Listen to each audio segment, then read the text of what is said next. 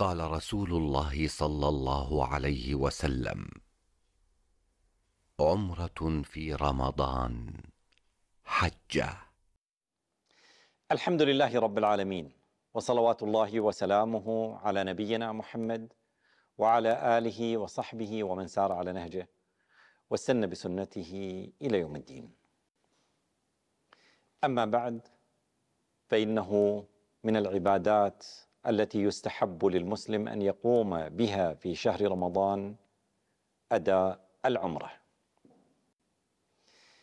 العبادات تنقسم إلى ثلاثة أقسام.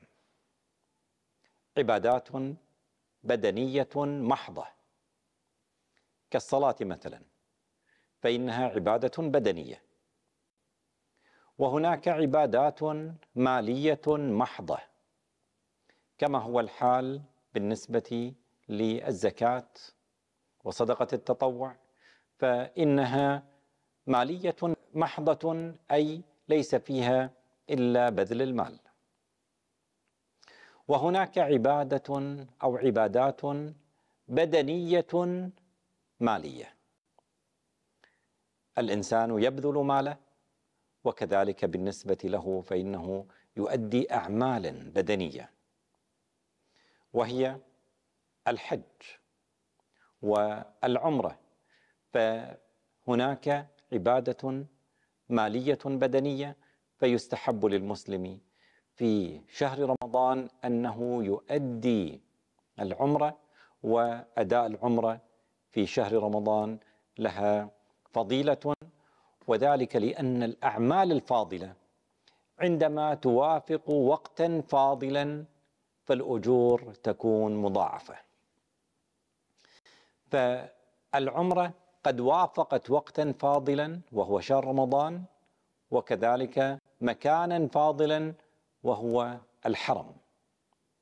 وبذلك تكون العمرة من أفضل القرب التي يتقرب فيها إلى الله سبحانه وتعالى. فهي عمرة وفي وقت فاضل تتضاعف فيه الحسنات وفي لا شك أنها تؤدى في هذا المكان الفاضل وهو الحرم. اذا بذلك يكون قد نال اجرا عظيما. ورد في الحديث أن امرأة كانت تريد أن تحج مع النبي صلى الله عليه وآله وسلم ولكنها لم تستطع الذهاب معه. فقال لها رسول الله صلى الله عليه وآله وسلم عمرة في رمضان كحج معي. فحثها النبي عليه الصلاة والسلام على أداء العمرة في شهر رمضان.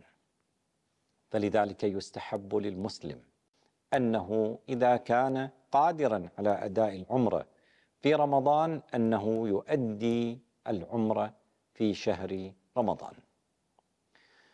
والعمرة يكون فيها بذل المال فيما يتعلق بالنفقة نفقة العمرة ويستحب للمسلم أنه إذا أراد أن يبذل ماله في نفقة العمرة أن يكون هذا المال كاملا منه.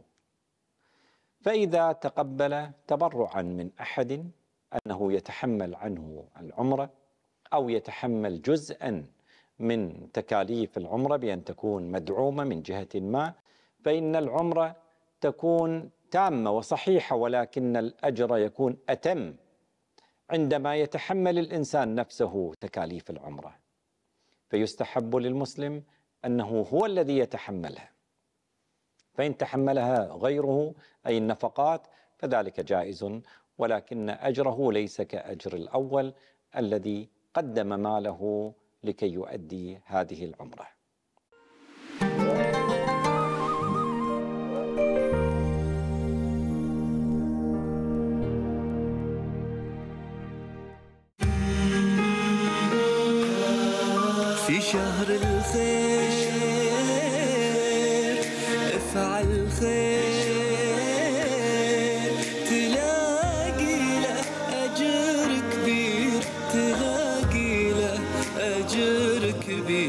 افعل خير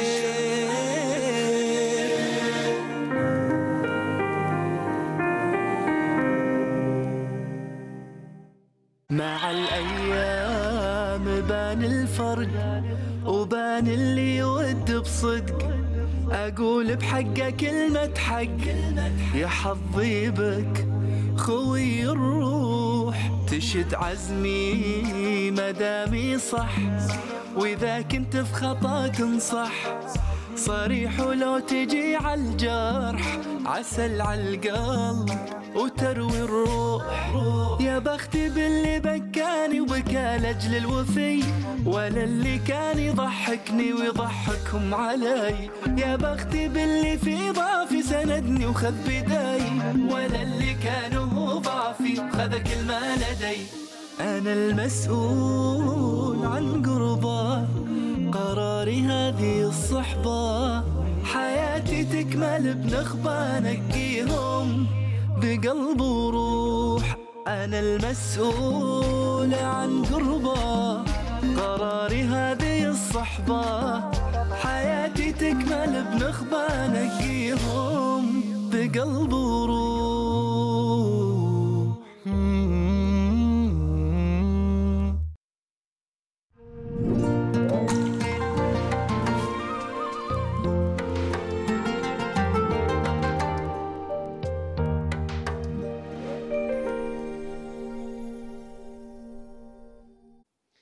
وكذلك بالنسبة لأدائها فإنها تؤدى على أتم وجه. يؤديها بأن يحرم من الميقات. ونقصد بالإحرام نية الدخول في النسك. فهناك إحرام وهو متعلق بالنية وهناك لباس الإحرام. لباس الإحرام بالنسبة للرجل وذلك بأن يلبس إحرامه من الميقات أو قبله.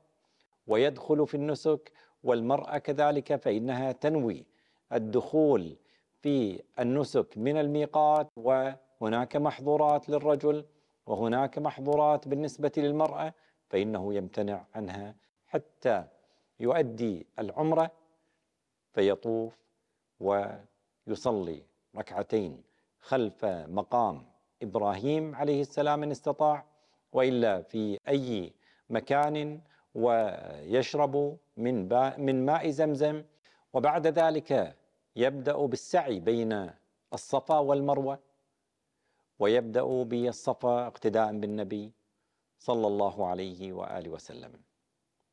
يتم عمرته ويشترط في الطواف أن يكون المسلم على طهارة. فالطهارة واجبة في الطواف وبالنسبة للسعي فإنه لا تشترط له الطهارة. المرأة بالنسبة لها إذا سافرت ولم تستطع أن تؤخر طوافها إلى حين انتهاء عذرها وخشيت أن يغادر عنها من كان معها فإنه هنا تأتي مسألة هل الطهارة بالنسبة للطواف هي واجبة؟ ولكنها هل هي شرط للصحة أو ليست شرطا للصحة؟ واختلف الفقهاء في هذه المسألة على قولين فمنهم من قال بأنها شرط للصحة. وهناك آخرون قالوا بأنه ليست شرطا للصحة ولكن من طاف من غير طهارة فالواجب عليه أن يؤدي دم. والنقصد بالدم أي أنه يذبح ليذبح شاة لفقراء الحرم. فلذلك من طاف حول الكعبة فإنه يجب أن يكون على طهارة فإذا لم تتحقق هذه الطهارة فيجب عليه أن يذبح دم. وذلك بأن يفرقه أي يفرق الشاة على مساكين الحرم. إذا ما يتعلق بالعمرة من الأمور التي تستحب. وإذا صلى في مكة والصلاة في المسجد الحرام عن مئة ألف صلاة. فلذلك يستحب للمسلم أنه يكثر من الصلاة والدعاء في الحرم. فالصلوات الخمس أداؤها في المسجد فإنه له في كل صلاة يؤديها له من الأجر مئة ألف صلاة. وكذلك بالنسبة لصلاة التراويح فإنه تتضاعف الحسنات لمن يؤدي هذه التراويح في الحرم. كل ذلك لأن هذا المكان المكان المبارك وقد وافق وقتا مباركا فلذلك يتضاعف الأجر وتتضاعف الحسنات عند الله سبحانه وتعالى.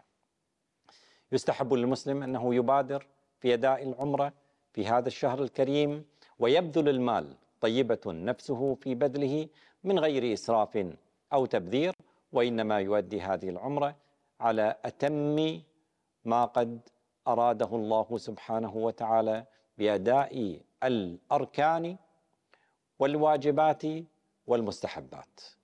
ويتعلم المسلم ما يحتاجه بالنسبة لأحكام العمرة حتى يؤديها على أتم وجه ولا تكون ناقصة من حيث الأركان فإن فقد الأركان أركان العمرة فإنه من لم يحققها لا تصح العمرة.